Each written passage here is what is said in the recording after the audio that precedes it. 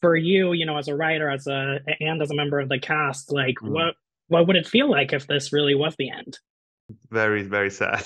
I mean, on on a lot of levels, I really, really love the show. I really care about these characters, and I love the people. It's you know, you you you wonder if it's a once in a lifetime thing where it's such a good group of people to spend your days with. Aside from everything else, it's just like every day you're like, this is nice, isn't it? That we all get to hang out and make this thing. So I'll miss all of it.